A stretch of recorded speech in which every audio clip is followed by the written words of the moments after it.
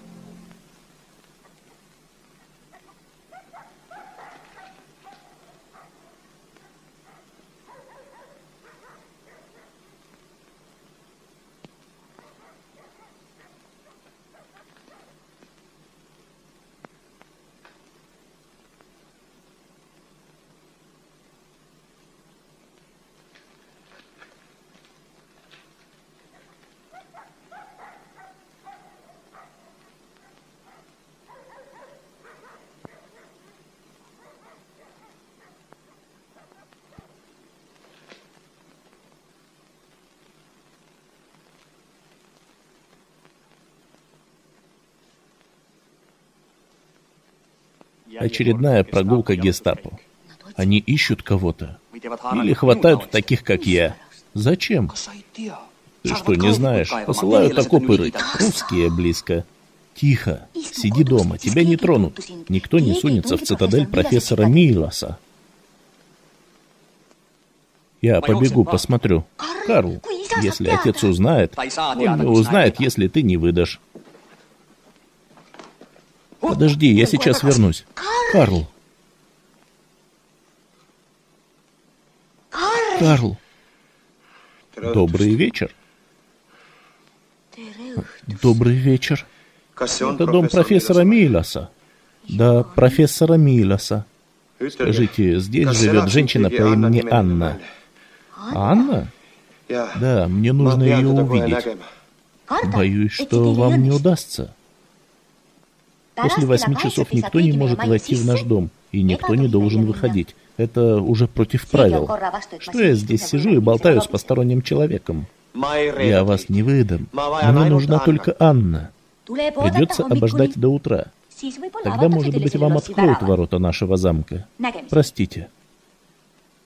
Мне надо идти. Я не могу ждать. Слышите, не могу. Скажите ей, Анс, Анс.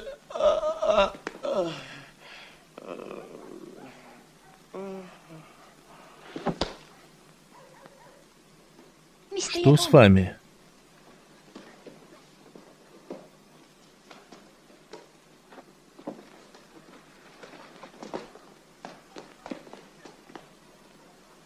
Что с вами? Пусть приведет Кейнаста, плотника. Простите, пожалуйста. Простите, я не поняла.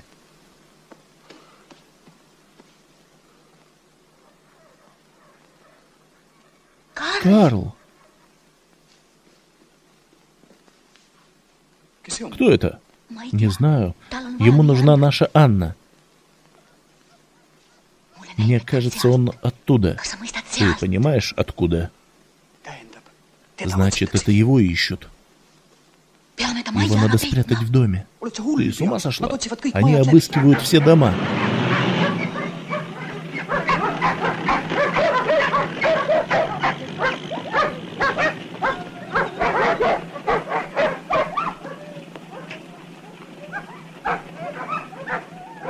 Нашли вы его, наконец? Нет, господин оберштурмфюрер. Черт возьми вас и вашу болтовню. Сейчас я сам покажу вам, как надо искать. Улыбайся, девочка, приятнее улыбайся. Это очень культурные люди. Они не сделают тебе ничего плохого. Что это за дом такой крайний там? Там были? Нет, господин оберштурмфюрер? За мной.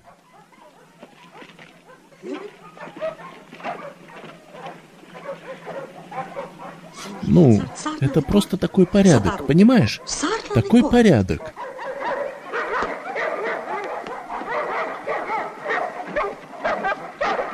Откройте дверь. Сейчас же. Откройте дверь.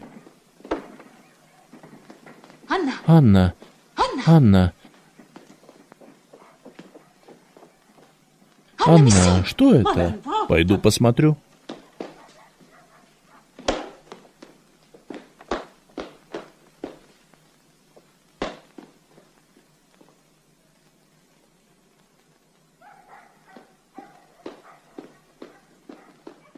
Где он? Только что через ваш забор перелез человек. Я вас спрашиваю, где он? Здесь никого нет. Обыскать дом. Где хозяин?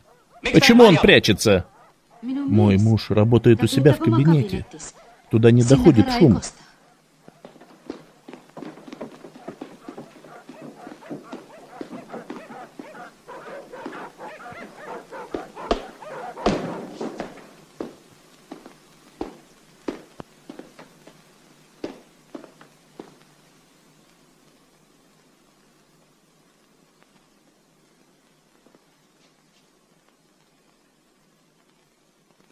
Добрый вечер. Где вы прячете мерзавца?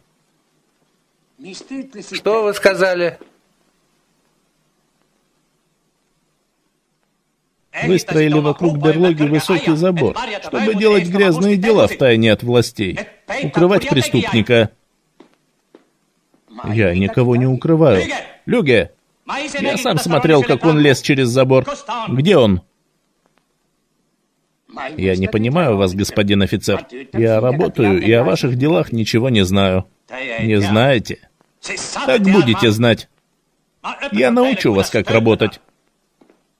Будете окопы рыть. А кто это? Ральф, мой старший сын от первого брака. Старший сын. Да? Он не живет с нами с тех пор, как окончил университет. Как ваше имя? Аугуст Милас. А, Аугуст Милас. Так, так, так. Профессор Аугуст Милас. Очень приятно с вами познакомиться, господин профессор. Ну и чем вы тут занимаетесь? Я заканчиваю свой труд по систематике мхов. Мхов? А, мхов. Пусть будет Мхов. Я тоже уважаю науку. Э, Роберт Штурмфюрер, мы нашли его. Нашли? Кого?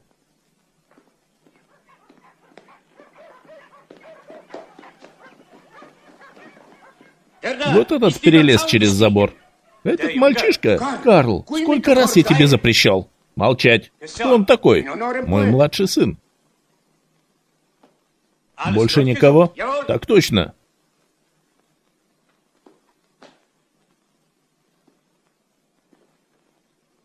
Благодари Бога, что ты сын знаменитого профессора Миллоса.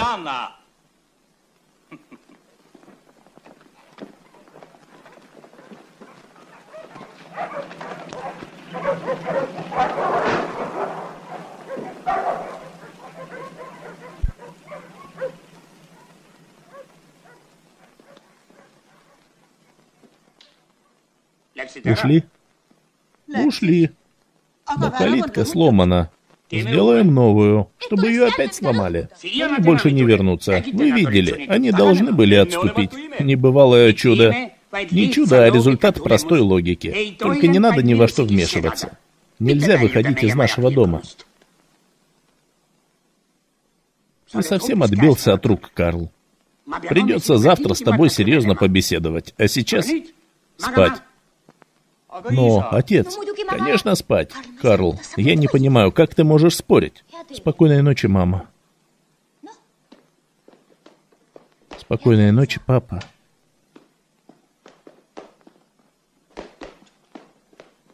Спокойной ночи.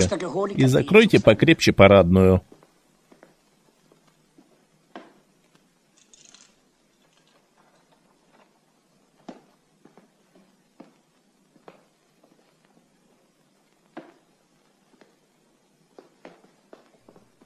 Анна. Тебя ждет человек. Мы его спрятали. Его имя Анц. Он ждет тебя и старого Кииноста. Анц.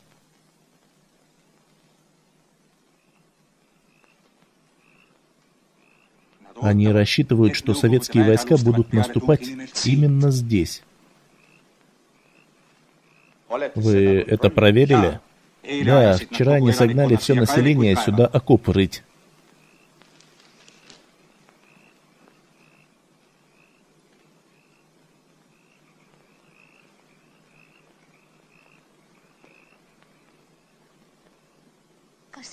Ты давно его знаешь, Анна?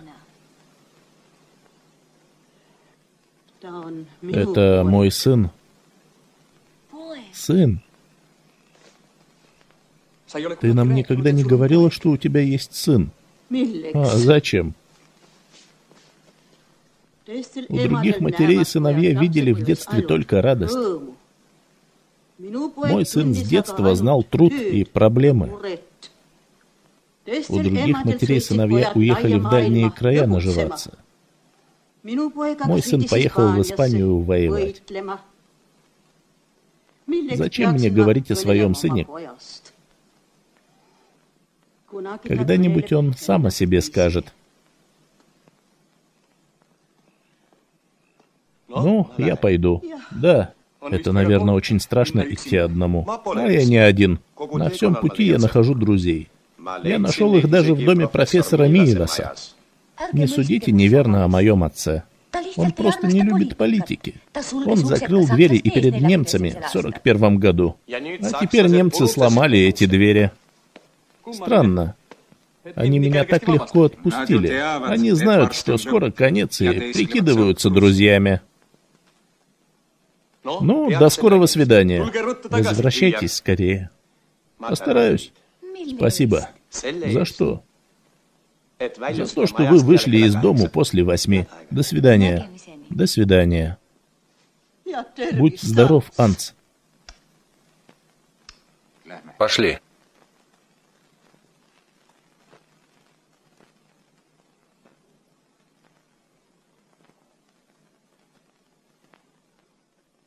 Шах.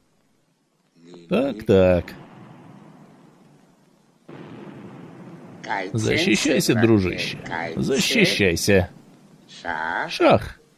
Ого, не пугай. Неплохо.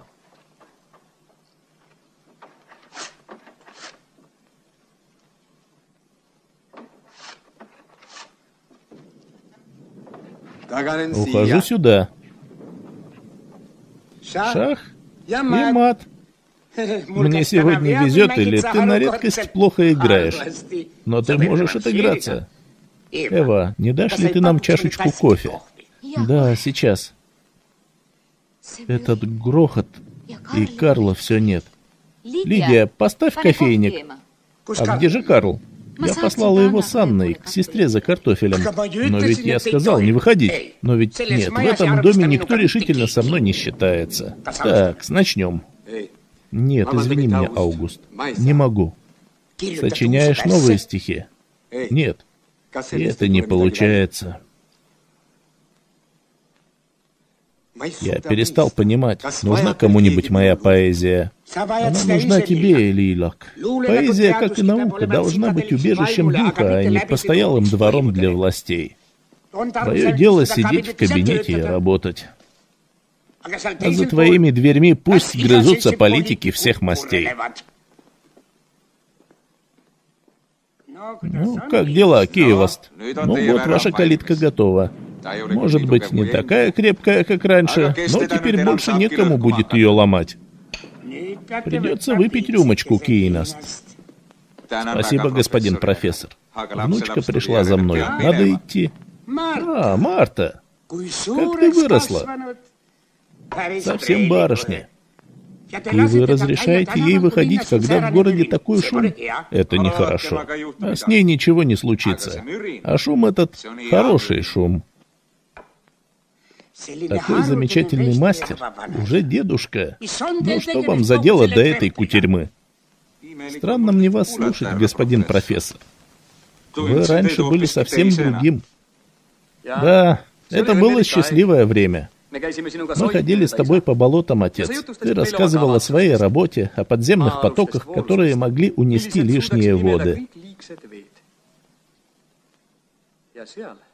И там, где были осоки и мох, цвели бы розы и колосился хлеб. Розы и хлеб. Что ты, мальчишка, смыслишь в этих делах? И я был молод. Глуп, как и ты. Мечтал, строил всякие планы, таскался в приемных, унижался в банках, и что я там слышал? Напрасная трата средств, пустые мечты. Нет, все это кончено. Вот кто еще имеет право на сказку. А меня уж оставьте в покое. Прощайте, профессор. Как? Значит, от рюмки отказываетесь? Надо готовиться к завтрашнему дню. До свидания.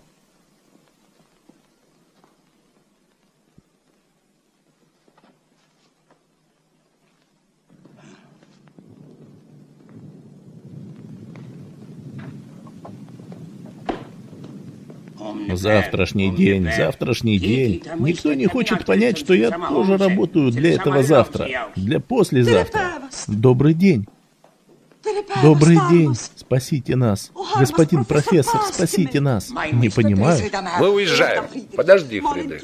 Я твердо решила, пока не поздно, надо ехать на запад. На запад? Все время только на запад. Как будто солнце восходит с запада. Что дал вам запад, госпожа Виарейхен? Может быть, вы и правы, но все-таки лучше уехать сейчас. Все это прекрасно, но при чем тут я?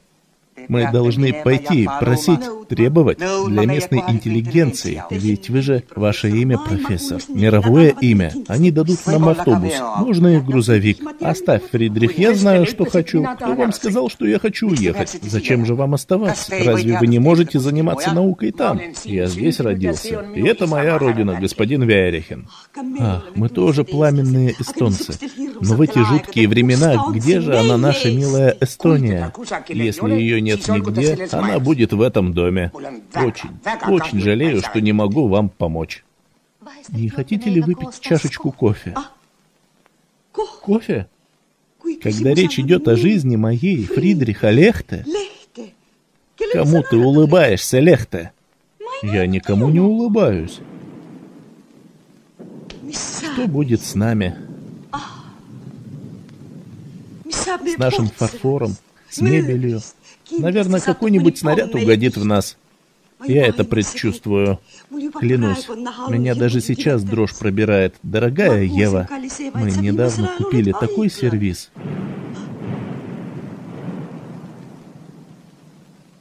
Фридрих, пойдем домой, спрячем наш фарфор в погреб. Лехте, подождите меня, я пойду с вами. Разве ты не останешься? Мы хотели играть. Мне не до шахмат сегодня. Прощайте, господин. До свидания, Аугуст. Слышите? Вы будете виновником нашей гибели, профессор.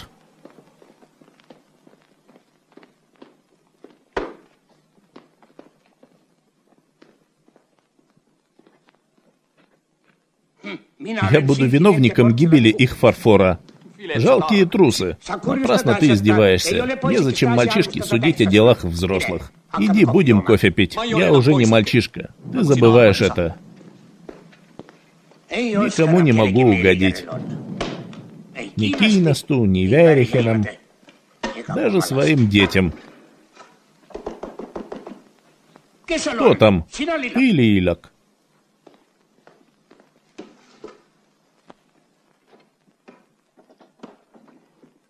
Здравствуй, дядя дорогой. Дорогой дядя. Рихард, ты. Я, я. И еще раз я. И кроме меня, еще кто-то. Добрый вечер, отец. Ральф. Да, это я. Ты не ожидал меня? Сюрприз, не правда ли? Откуда ты? Откуда? С тернистой тропы беженцев. Откуда в наши дни приходят тысячи? Да, беженцы. Нас, как и всех, хотели отправить на запад. Пришлось уходить, тайком бежать. Что ты делал все эти годы, Ральф? Когда-то ты хотел отдаться науке. Удалось тебе это? Почему ты не написал? О, мы были очень заняты. Ральф, конечно, своей наукой, а я врачебной практикой. Это хорошо, что ты пришел, сынок. Ты мне очень нужен, но... Почему же мы стоим? Идем в дом. Нет, нет, отец, ни в коем случае. Смотрите, смотрите, кто вернулся. Мой Ральф и Рихард. Теперь вся семья в сборе. Весь мой милый Синклит у меня под крышей.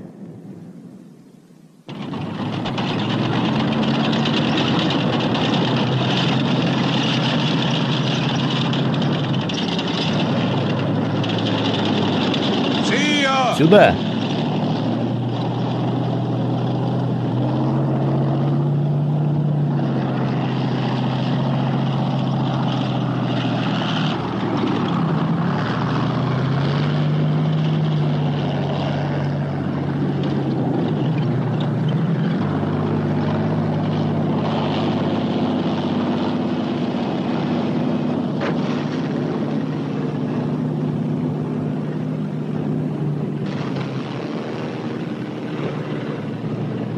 Если опоздаем, немцы взорвут ратушу и вокзал.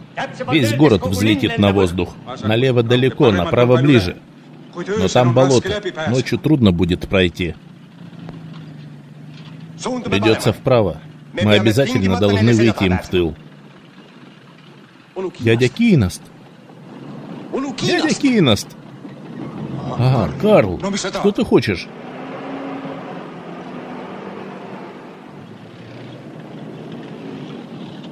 Если нужно ехать через болото, я могу указать путь.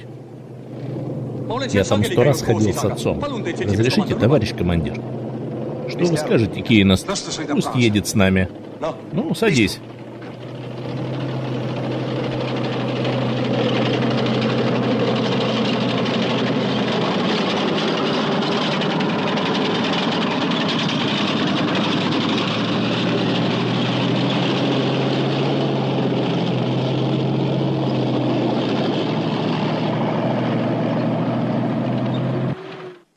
Так.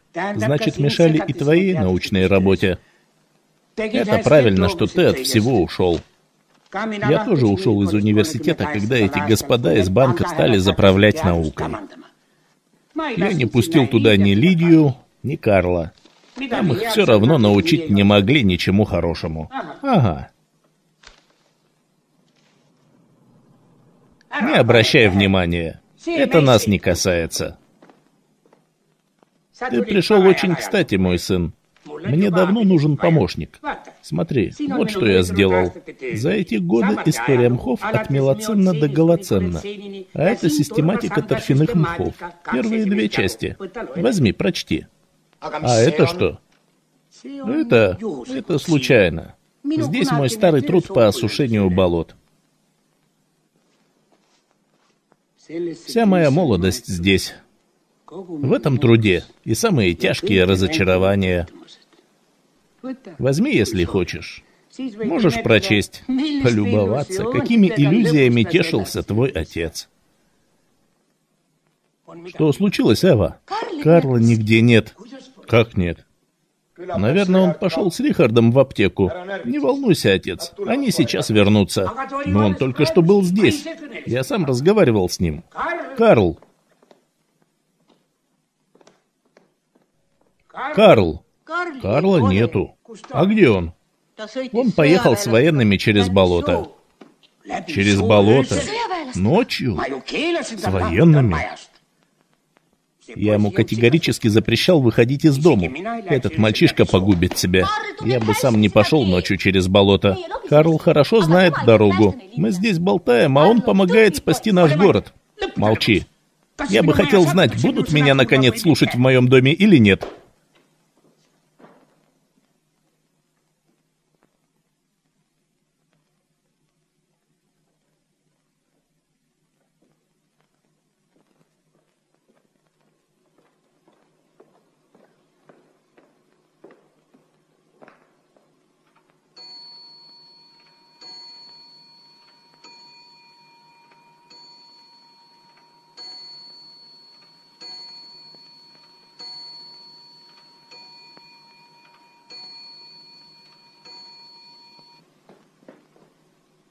Ральф. А? а?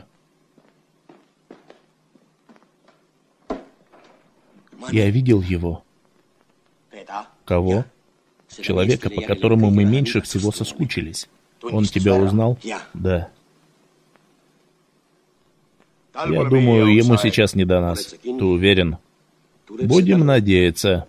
В городе здорово взялись за немцев. Может быть, и его там прикончат. Запер калитку. Нет.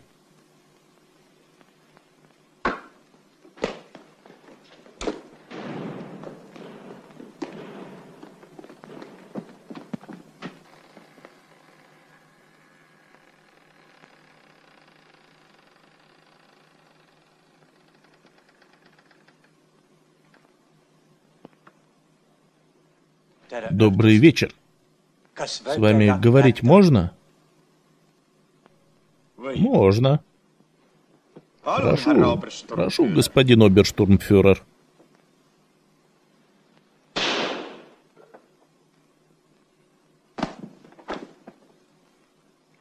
Пусть поговорит.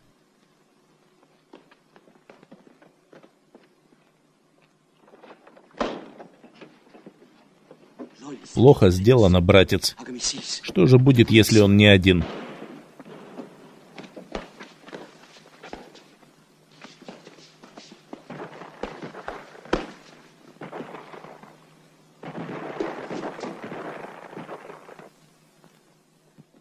Наши! Наши! О, как видите, мы тоже здесь сражались. И не без успеха. Непривычная работа. Очень непривычная. Жаль, что поторопились. Это вы его? Нет, это он. Мой доблестный кузен. Вы военный? Нет. Нет, я ученый. Но такое уж время, надо думать о самозащите.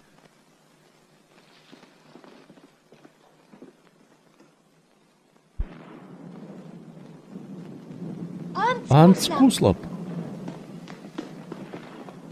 Здравствуйте. Добро пожаловать. Вы ранены? Просто царапина. Я перевяжу вас.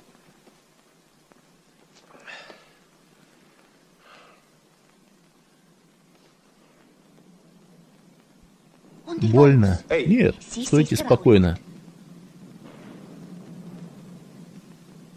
Что вы там увидели? Это было у того дерева, да? Нельзя сказать, чтобы у вашего дома был приветливый вид. Один только забор может нагнать тоску. И все же я второй раз не чувствую себя здесь чужим. Значит, вы не забывали нас? Нет, не забывал.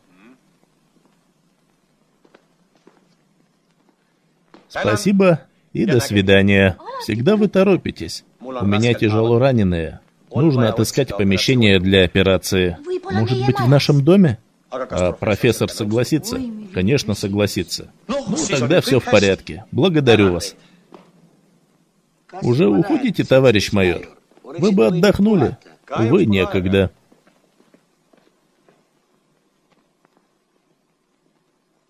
У них раненые. Они просят твоего разрешения привести их сюда. Я не понимаю тебя, Лидия. Пустить в наш дом войну, кровь, беспокойство. Зачем? Эти люди отдают жизнь, чтобы освободить нашу родину, чтобы спасти нас всех. Отцу нужно работать, а тебе первый попавшийся офицер дороже покоя отца. Ральф. Ну-ну, Ральф, речь идет о раненых. Они же не воюют. Скажи им, Лидия, я с удовольствием предоставлю свой дом для раненых. Да-да, офицер был весьма бравой наружности.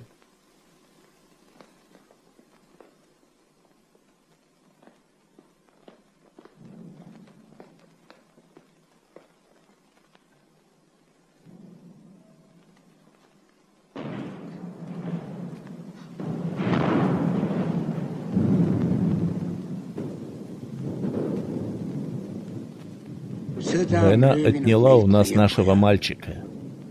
Я так хотел уберечь его от всех бед. А он... Нет, Аугуст. Не война. Не война виновата. Мы сами. Он не хочет жить по-нашему. Почему же Ральф меня понимает?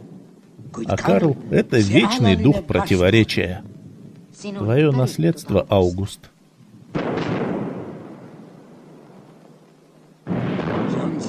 Это там, в болотах.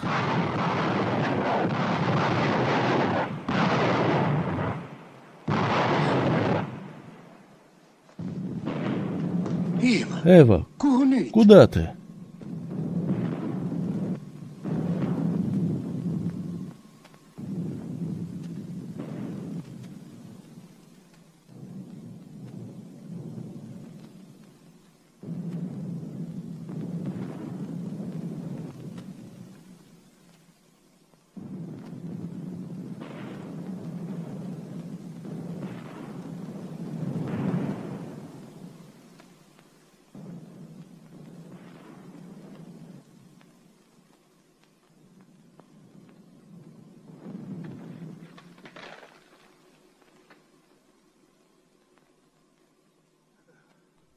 Отец, знаешь, кто среди раненых?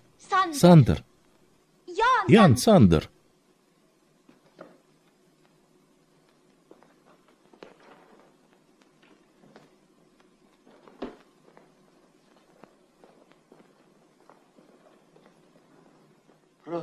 Профессор. Профессор Милос. Сандер. Господи. Гражданин, здесь раненые. Вы не можете так пройти. Но это мой дом. Может быть. Но без халата вы не пройдете. Вот, пожалуйста.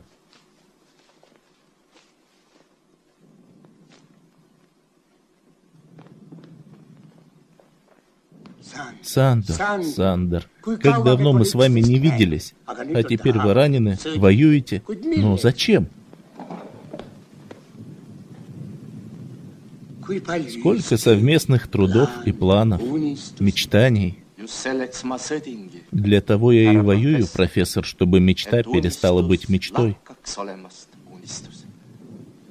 Этого никогда не будет. Нашему миру нужно лишь то, что калечит, рушит, уничтожает. Вас будут оперировать? Меня должен оперировать профессор Головин, но... Никаких «но», если речь идет о вашей жизни. Я сам поговорю с ним. Не надо утомлять больного перед операцией. Что скажет профессор? Вот он. Это он? Да.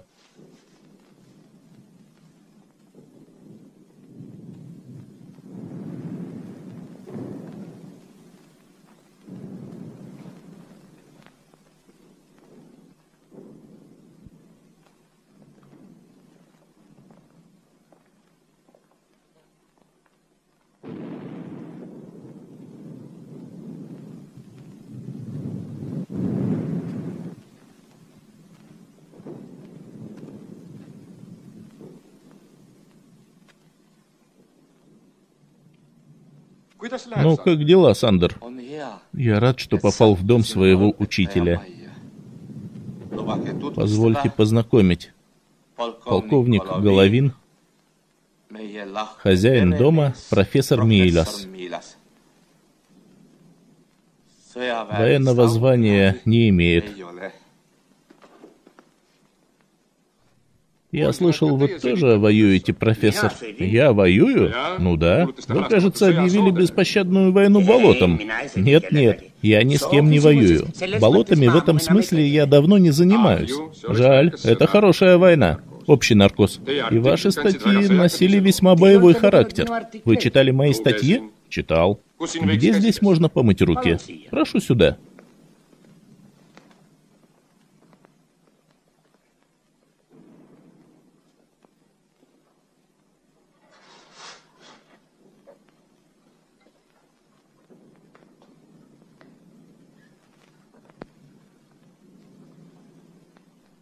Сандер очень одаренный ученый.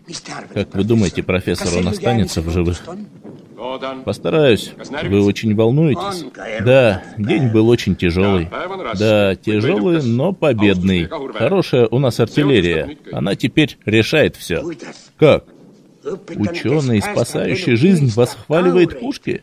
Пока вы спасаете одного человека, пушки вырвут тысячи жизней. И каких жизней? Погибают ученые. Кто будет дальше двигать науку? Это безумие. Надо спасать науку для мира. Пожалуйста, надо сначала спасти мир для науки. А пока что пойдем спасать жизнь ученого. Что случилось? Дайте аварийный свет. Теперь операция невозможна. Немецкий порядок уходит из городов. Взорвали электростанцию. Значит, они не пришли? Погибли в болотах? Вот он ваш мир, в котором можно лишь разрушать. Почему же? Можно еще уничтожать разрушителей. Простите, профессор. Жалко, что не могу побеседовать.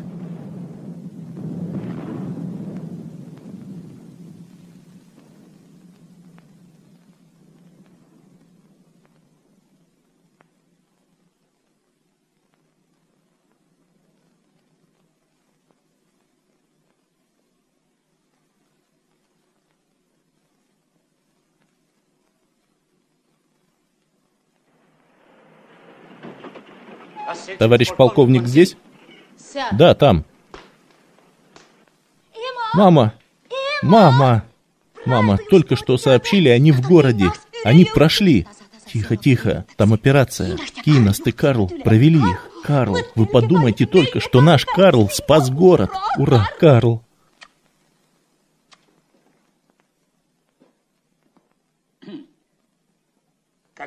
Ты слыхал, Ральф? Этот скверный мальчишка. Но за Еву я очень рад. Она так волновалась. Я рад, отец. Теперь ты можешь спокойно работать. Ты прав, мой сын. Это все мешает, мешает. Один ты понимаешь меня.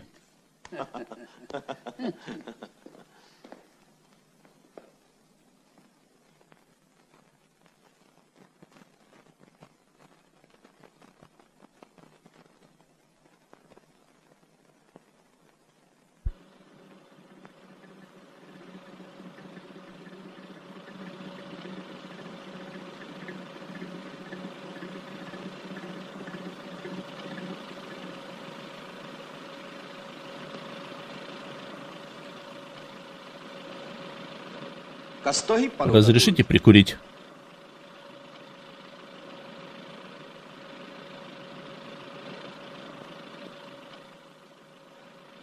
Дом профессора Милоса. Твой родственник. Отец. Очень хорошо. Пригодится. Я бы не советовал. Советы даю я. Кстати, оружие носить незачем. Сын ученого сам мирный ученый. И передай нашему доктору, что теперь надо, как они говорят, врастать, врастать в советскую медицину. Но зачем? Игра ведь проиграна. Игра продолжается. Ты думаешь, кроме немцев не найти хозяев? После бури чайки прилетают вновь. Ты примешь их?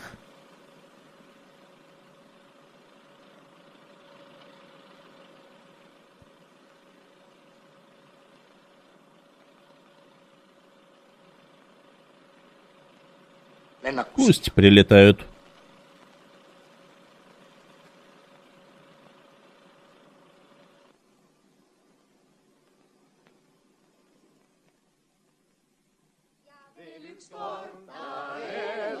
И еще раз, он да здравствует, превыше всех, он да здравствует, да здравствует, еще раз, пусть да здравствует он, здравствует он, здравствует он. Бокалы вместе, пусть звенят, пусть звенят, да здравствует. Спасибо, спасибо, мои друзья. Благодаря вам я могу завершить мой труд в это смутное время. Да, смутное время. Да, вы правы.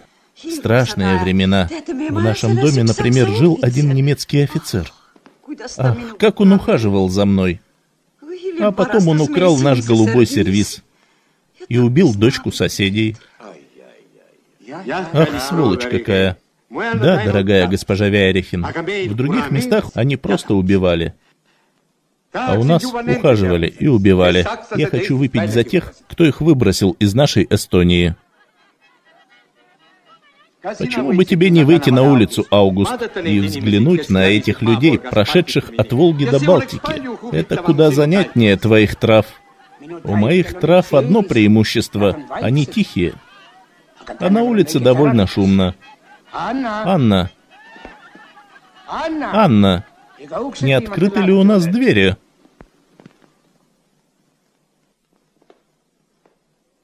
Вы ко мне? Это ко мне, господин профессор. Это мой сын, Анц. Майор Куслоп. Твой сын? Неужели сын нашей Анны? Здравствуйте. Я очень рада. Не хотите ли выпить с нами бокал вина? Лидия, принесите бокалы. Прошу, прошу, господа, познакомьтесь. Майор Куслоп, писатель Лиллак, господа Вяерихейны, а остальные — моя семья. Здравствуйте, товарищ майор. Здравствуйте.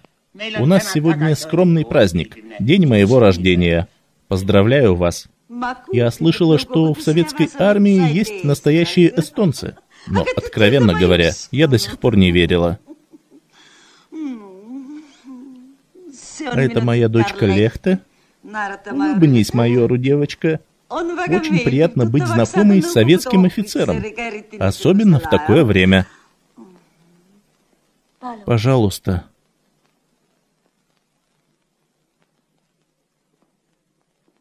Рад поздравить с двойным праздником. Двойным? Вы не слышали радио? Эстония освобождена от немцев. Наша родина свободна.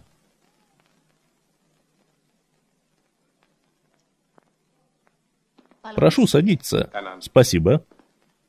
Вы теперь останетесь в городе? Нет, на рассвете мы выступаем. Просто не понимаю. Вы свое дело сделали. Выгнали этих мерзавцев из Эстонии. Дальше пускай гонят другие. Война. А зачем эта война нашей Эстонии? Зачем нам все эти неприятности? Наш народ такой миролюбивый, так ненавидит все жестокое. Это не совсем так. Я мог бы вам рассказать, как в одном лагере господа соплеменники пытали до смерти, мучили людей. Неужели наши соплеменники? Да, я знаю, что вершителями судеб там были эстонцы. Они не уступали немцам. Ай-яй, какие мерзавцы. Их до сих пор не нашли? Пока нет. Но найдут. Майор Куслоп. Стоит ли вспоминать это в такой радостный день?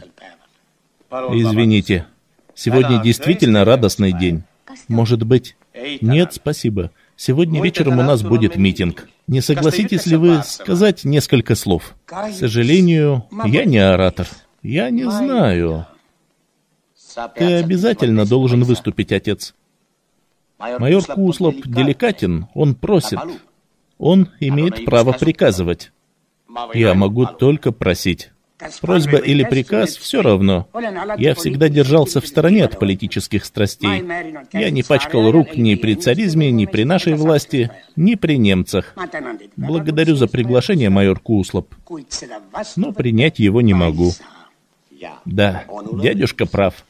Ораторы выступают, доктора лечат. Ученые занимаются наукой. Выпьем за мирный труд ученых. За науку. Мы еще не выпили за тех, кто выбросил немцев из нашей страны. За советскую армию. Не понимаю, Карл. Откуда у тебя такие воинственные наклонности? Не было ли в вашей семье военных, профессор? Мой дед был рыбак, мой отец ученый. Военных в семье Милос не было. Будут. Теперь будут. Что ты этим хочешь сказать, Карл? Ты меня учил, отец, что каждый обязан выполнить свой долг. Я его выполню. И ухожу в армию. Самоубийство. Куда ты лезешь? Я поступаю так, как все мои настоящие друзья. Мальчишки, не знающие жизни. Они готовы отдать ее за самое дорогое, как отдают ее все. Как майор Куслоп. Как ты сказал, майор Куслоп? Иди, отдавай жизнь, которую я дал тебе. Ты думаешь, от этого что-то изменится? На моей памяти третье поколение отдает свою жизнь за лучший мир. И что же? Опять льется кровь. Опять идут в бой бесчеловечные, вооруженные до зубов армии.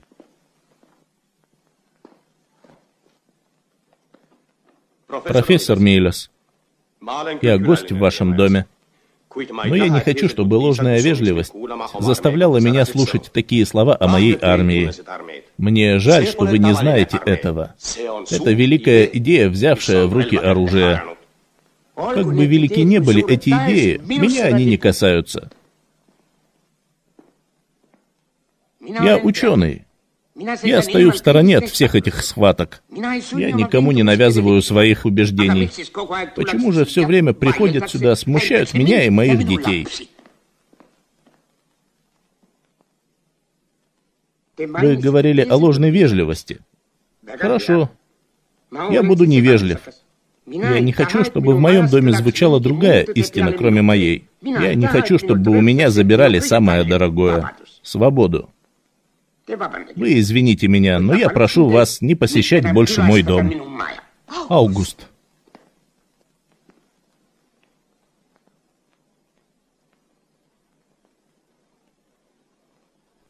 Вы предложили мне выпить.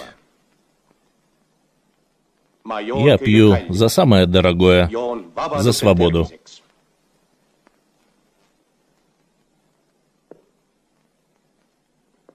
Я ухожу.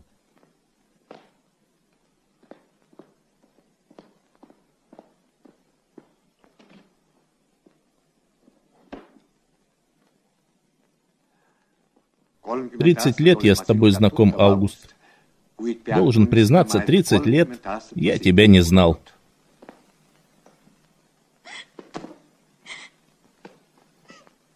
Не плачь, ради бога. Не плачь. Я тоже заплачу. Разве я плачу? Я веселюсь. Так весело жить в нашем доме. В цитадели свободы. Свобода выгонять людей. Свобода командовать всеми нами. Лехте, идем, доченька. Большое спасибо, Ева. Все было очень вкусно. Фридрих. Я провожу вас. Ах, так. Куда же вы, друзья мои? Ведь сегодня мой праздник.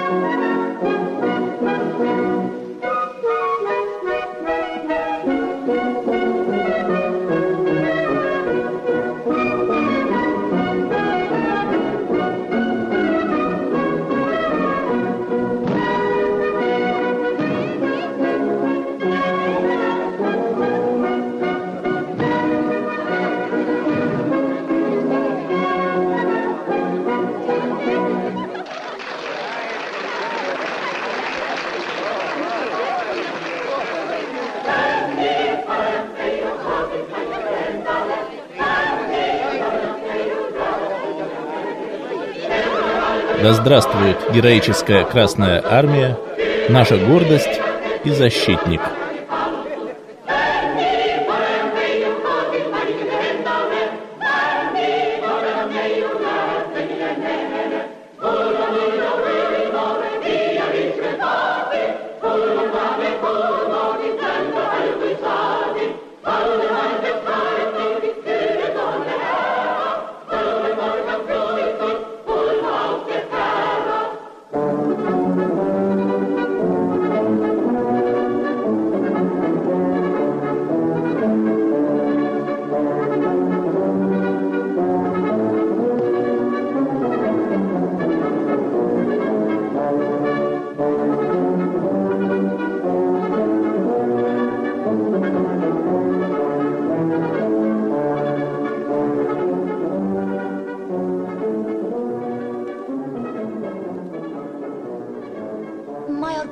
Куслоп.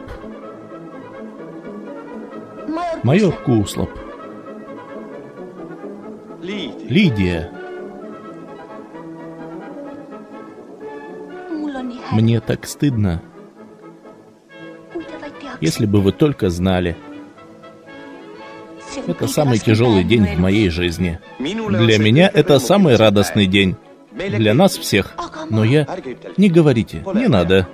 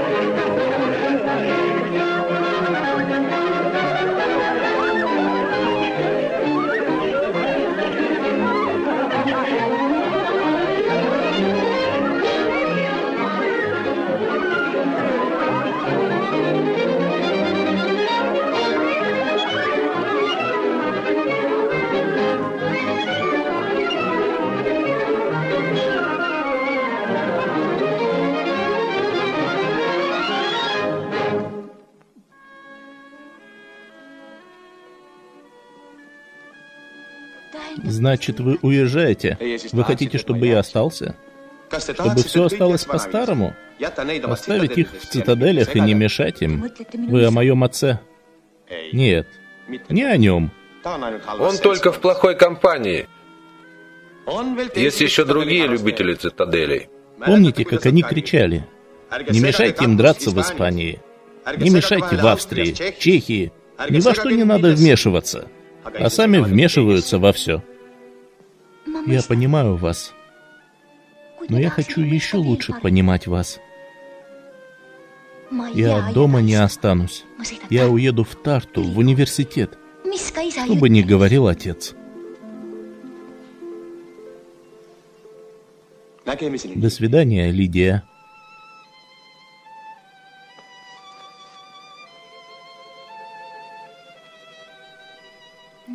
До свидания.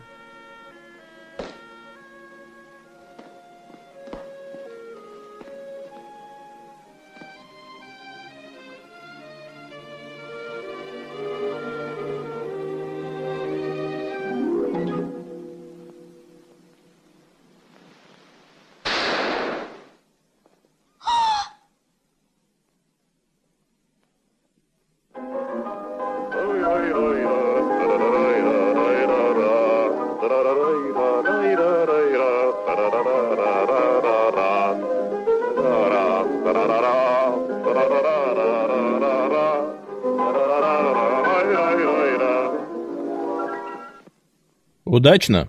Прекрасно прогулялся. Чудесный вечер.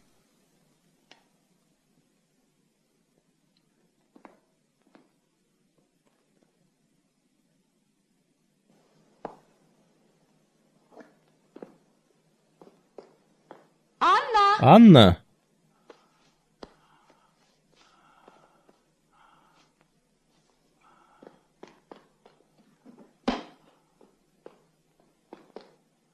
В него стреляли. возле нашего дома. Ему нужен врач. Надо сказать отцу. Чтобы он опять его выгнал, не надо так говорить. Его нельзя оставлять здесь. Надо отправить в госпиталь. Ему нужен покой. Пусть полежит. Пусть отдохнет. Нет. Я пойду, достану машину.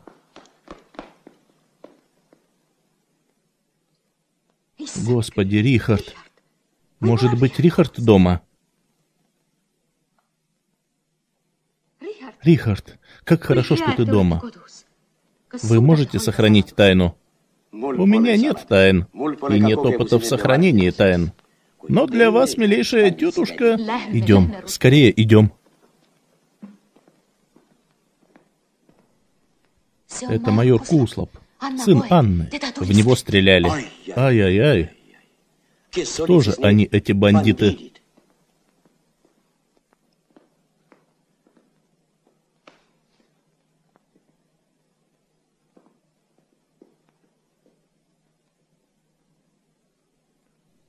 Плохо.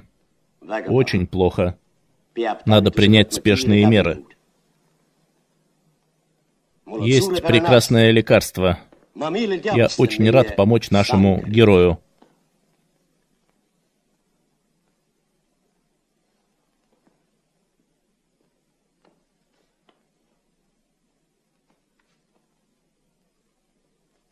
Я очень рад помочь нашему герою.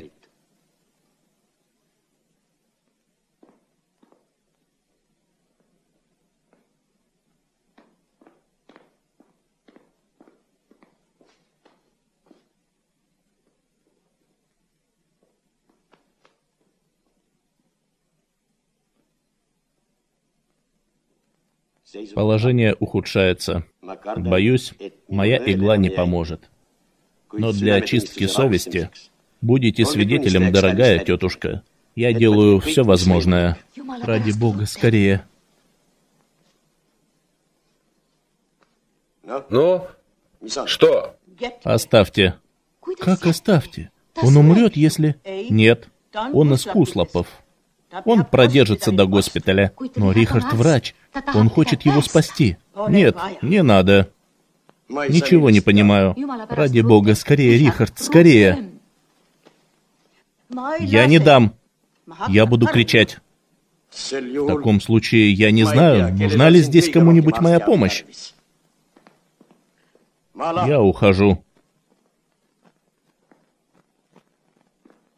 Что с тобой, Анна? Здесь все решительно сошли с ума. У меня голова кружится от всего этого.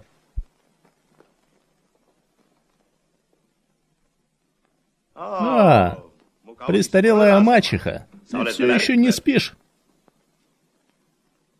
Ученый отец сидит ночью напролет, уткнувшись в свои книги, а его молодая жена томится, ходит по дому. Как странно ты шутишь. Не надо забывать, что профессору стукнуло сегодня 58. Я раньше не замечала у тебя такого тона, Ральф. Мне кажется, ты многого не замечала. Ты даже не замечала, какая ты красивая. Как ты смеешь так говорить с женой твоего отца? Мещанские предрассудки, к черту! Ральф! Кто это? Кто это стонет? Ничего, там никого нет. Кто там? Не ходи, Ральф, не ходи. Хорошо, я скажу тебе.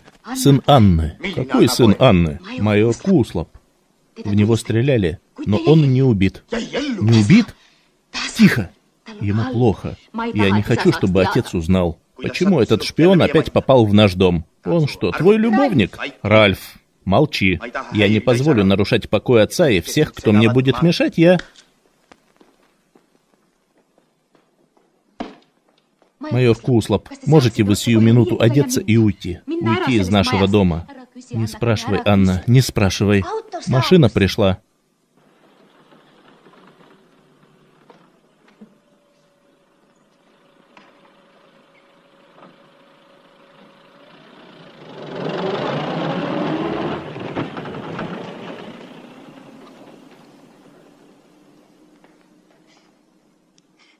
Ты хотела ехать в Тарту, Лидия, в университет. Только не теперь, мама. Я не могу, пока он... Он будет жить. скоро будет здоров. Ты поедешь в Тарту, и я поеду с тобой.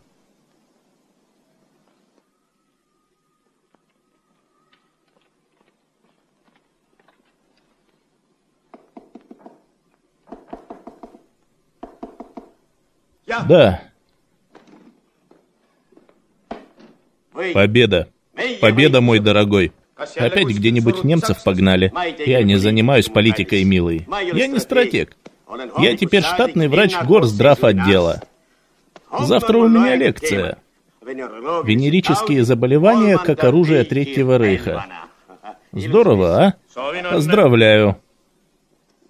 Да, были они уже здесь? Еще нет. Пора идти. Остался час времени. Успеем.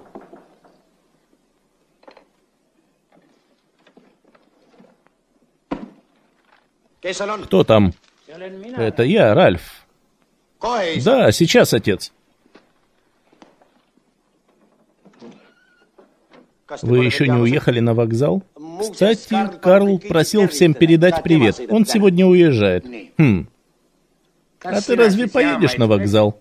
Если позволишь, нет. В последнее время Эва и Лидия были так холодно со мной. Кстати, я прочел твою книгу об осушении болот. Вернуть тебе? Нет, это неспешно. Но вы хоть выйдете к машине, попрощайтесь с ними. Аугуст, нужно поторопиться.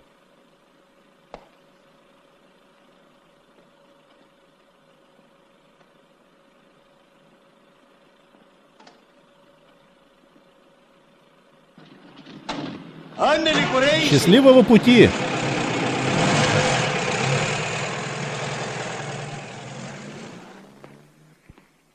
Вот письмо, Анна. Пойдешь сейчас же в город и передашь.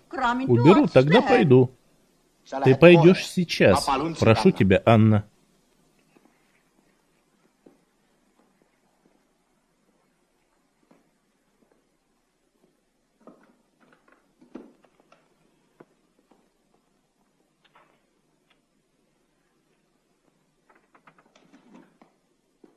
Подождешь ответа? Хорошо.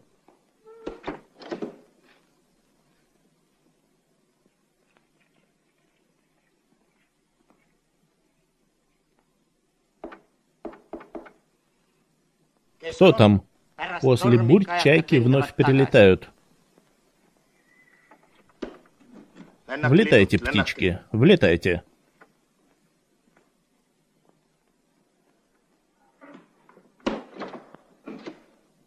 Ну? Ну, все сделано. На площади все готово. Остаток спрячу себя. Но не бойся. Дом профессора — самое надежное место. Наш уголь у тебя не залежится.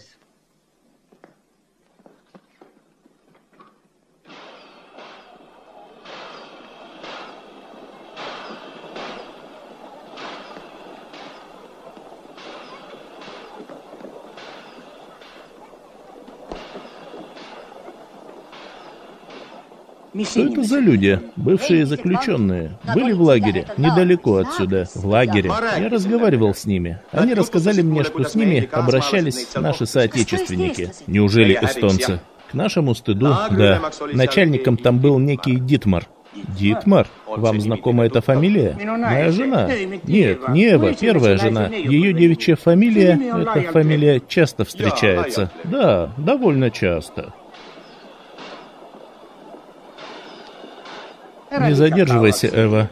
Хорошо, Август. Только я не знаю. Может быть, так тебе лучше? Теперь ты свободен от всех. Один во всем доме. Да, один.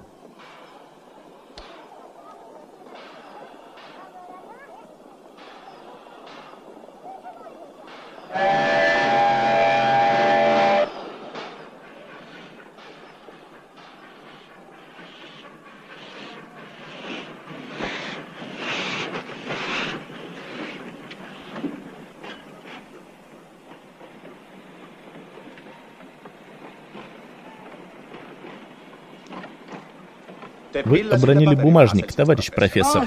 А, это повестка из горсовета. Но все равно пойти не могу. Я занят.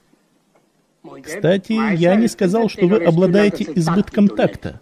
Я просил вас не общаться с моим домом, но вы все-таки... Я постараюсь не нарушать вашу просьбу. Но если она распространяется на отдельных членов вашей семьи, которая теперь разбросана на большой территории, то я не нуждаюсь в критике моих семейных дел, майор Куслоп. Может быть, так лучше. Это удел науки Splendid Isolation.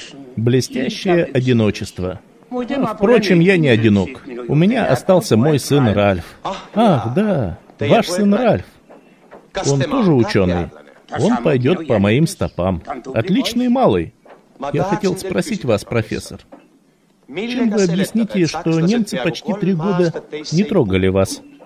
Вы забываете мои труды, мою известность, может быть, до некоторой степени даже заслуженную. Есть люди, которые с этим считаются. Даже этот ваш горсовет. Но туда не стоит идти. Вы ведь заняты. У вас много работы. Как вы любите вмешиваться не в свое дело?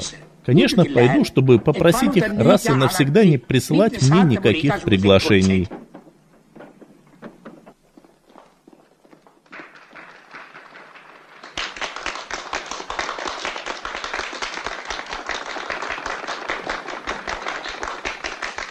В других частях каждому досталась земля. Вот это и есть советская власть. А у нас в например, у него под боком болото. Разве это советская власть, если под боком болото? Причем тут советская власть? Разве советская власть сделала эти болота? Я так скажу. Советскую власть потому и называют советской, что она советуется с народом. Вот это я так понимаю. Разве не советская власть сделала так, что я, простой крестьянин, сижу здесь с вами и могу говорить о нашей земле? Так почему же советской власти не подумать и о наших болотах? Природа есть природа. Болота всегда останутся болотами. Не всегда. Сколько ли существует Эстония? Столько лет существуют и болота в ней. Эй, конечно, конечно.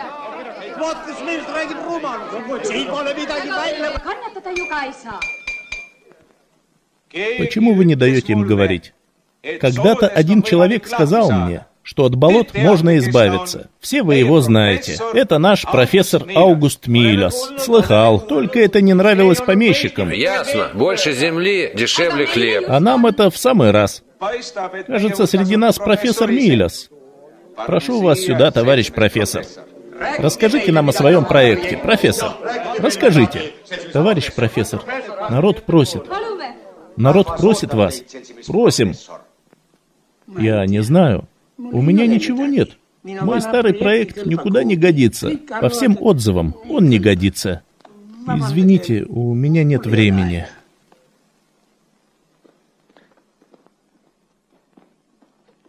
Аугуст, куда же ты? Я не хочу этого обсуждать. Опять бередить прошлое. Опять надежды, разочарования. Нет, Аугуст. Теперь не то время. Теперь можно начать жить по-новому.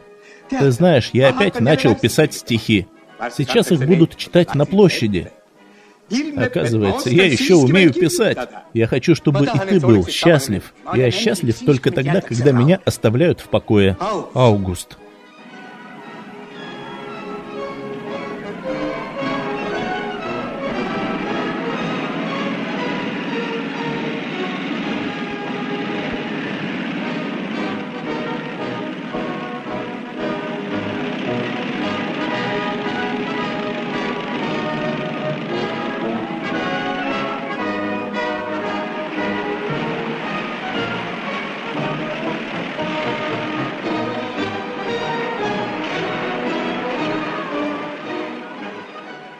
Что с тобой, Марта? Все такие высокие, и я ничего не вижу. Не беда, я помогу тебе.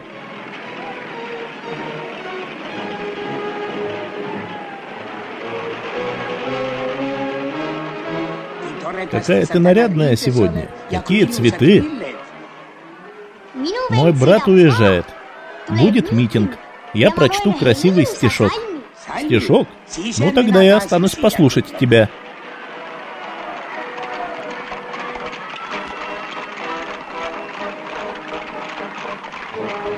Вот он.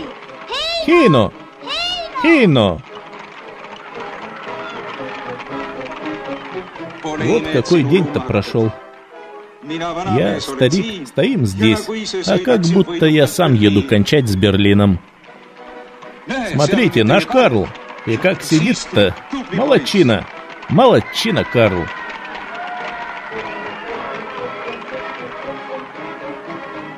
Будь здоров, мальчик.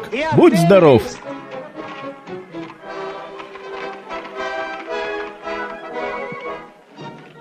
Куда вы, профессор?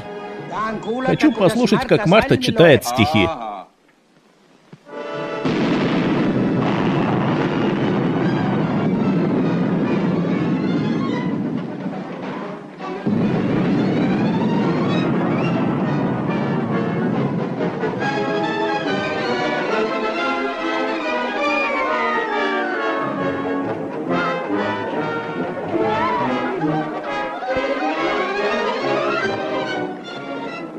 Марта, Марта, девочка моя!»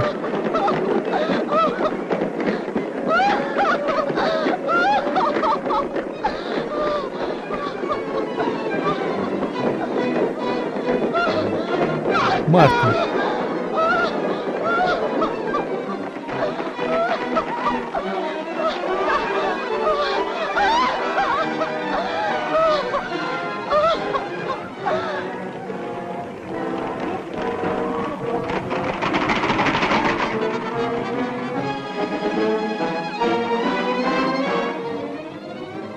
Берегитесь! Уголь взрывается!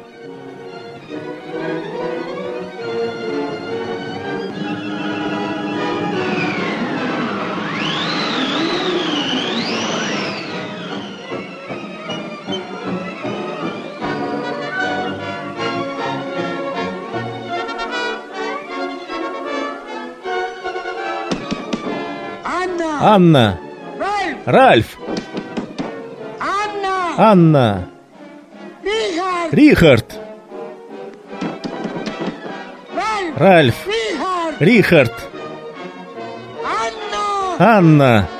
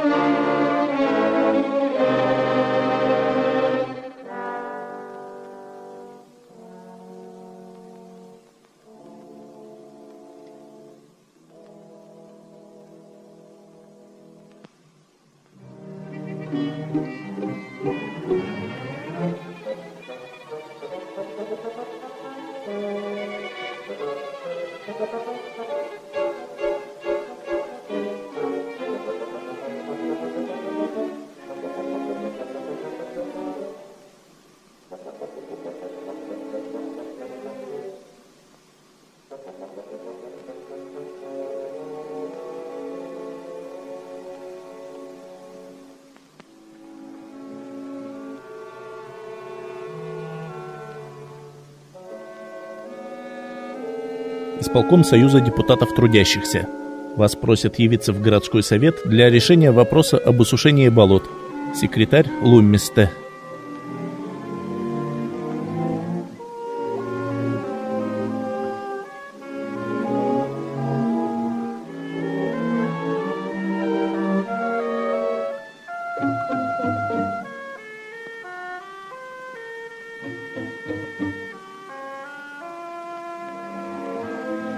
Осушение болот. Пути использования внутриторфяных потоков.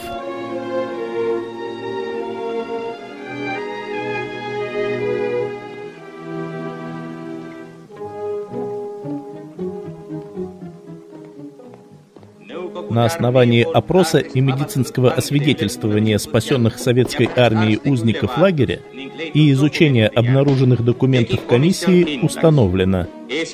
Первое. В лагере содержалось постоянно от 3 до 5 тысяч заключенных, преимущественно русских, эстонцев и украинцев. Привозимые в лагерь подвергались организованному ограблению. У них отнималась одежда, деньги и все ценности – Наиболее трудоспособные отбирались для работы в лагере. Остальные прямо направлялись в газовые камеры. Узники, отобранные для работы, по мере того, как они в результате изнурительного труда и голодного режима теряли трудоспособность, также предавались сожжению.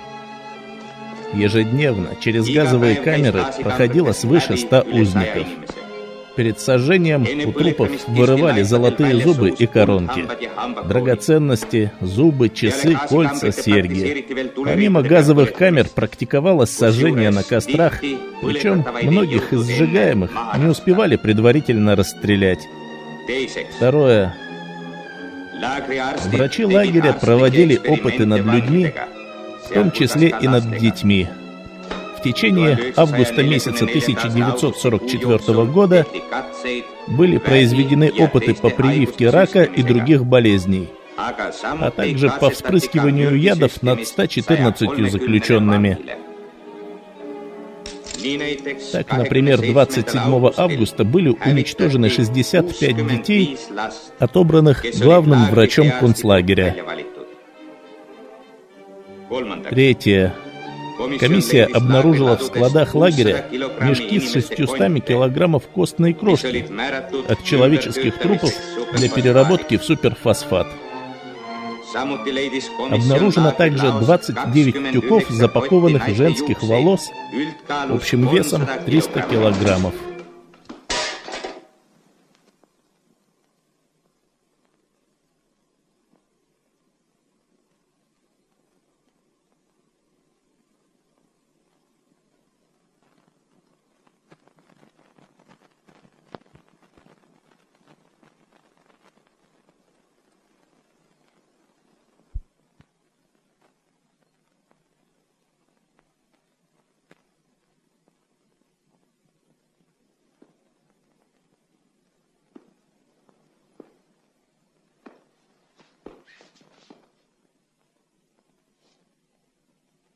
Кто здесь? Кто здесь?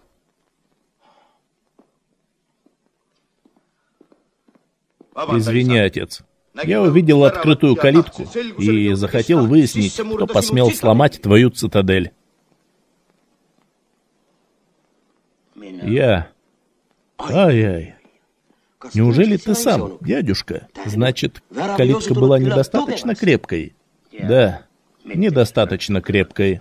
Вот какие они, эти затворники ученые. Такие годы сломать калитку. Это не шутка. Еще раз, прости, отец. Мы не думали, что ты так скоро вернешься.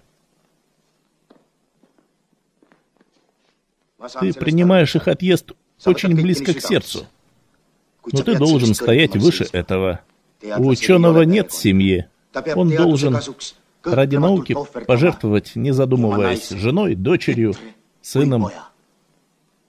Разве я не прав, отец?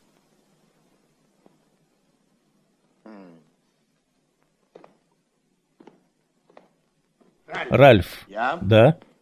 Я хочу, чтобы ты мне сказал. Да, отец. Откуда у тебя эти зубы? Зубы? Какие зубы? Ну, ну разве ты не понимаешь? Дядюшку интересуют, ну, эти зубы. Ты помнишь анекдот про зубы?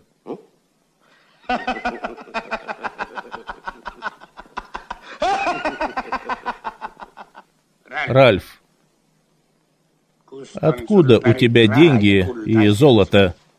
Ты рылся в моих вещах, отец? Ай-яй-яй. Это мой дом. И я хочу знать, откуда все это в моем доме. Я не понимаю твоего волнения, отец. Деньги и золото не мои. Знакомые дали мне их на хранение.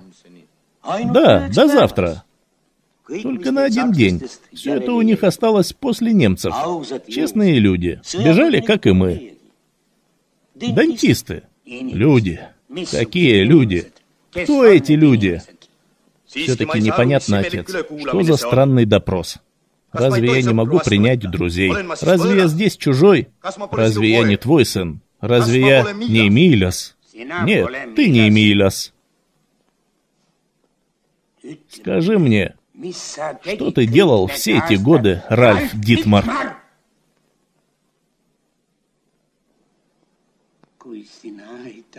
Если ты не хочешь сказать, тогда скажу это я.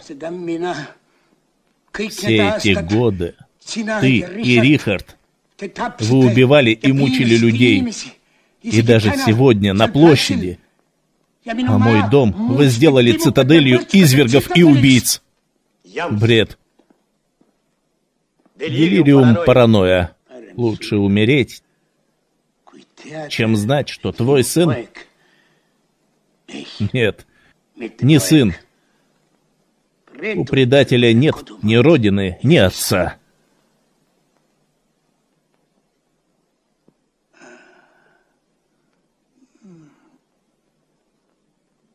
Надо пойти, сказать. Он сошел с ума. Куда ты идешь? Что ты скажешь? Что ты укрывал сына? Плоть и кровь свою. Что может быть ближе? Ты думаешь, за предательство тебя наградят? Лучше молчи, и тебе не сдобровать. Не пугай. Я не боюсь ответа. И я отвечу. Ральф, он в самом деле идет. Не уйдет. Стой!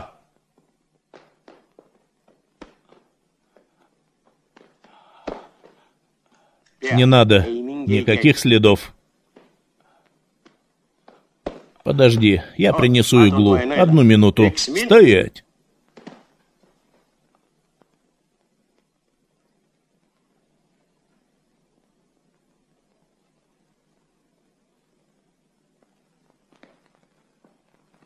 Простите, профессор, что я опять пришел без разрешения.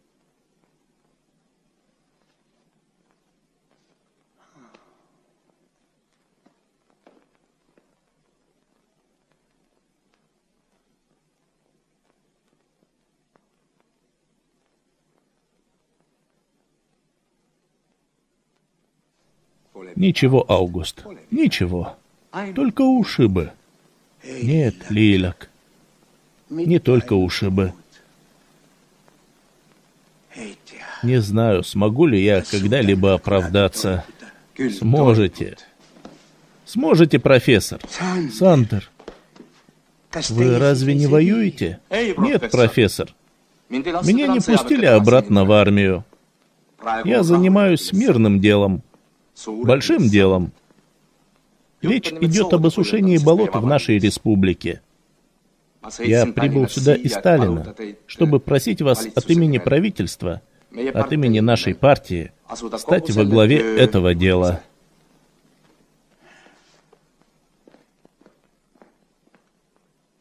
Нельзя было его волновать.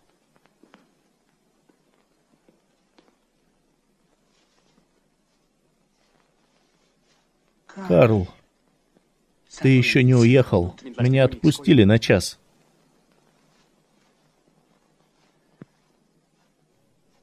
Хорошо. Поезжай, Карл. Помоги спасти этот мир для науки. Нет, для счастья человека.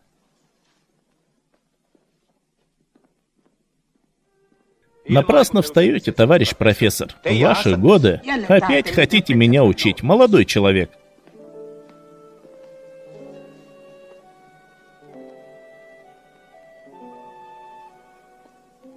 Ну что же, мой друг, я согласен. Я чувствую себя достаточно молодым, чтобы учиться. Как ты думаешь, Лилак, мы еще успеем кое-что починить в нашей жизни? Прежде всего, надо бы починить калитку в заборе. Забор? Нет у нас времени заниматься забором.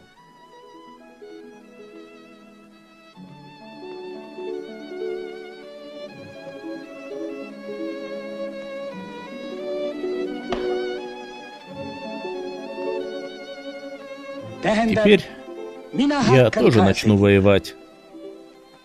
И когда-нибудь мы вместе с тобой подойдем к окну, и там будут поля и сады, будут цвести розы и колоситься хлеб. И всем моим соотечественникам, всем, кто хочет трудиться, найдется много земли. Живой, теплой, доброй.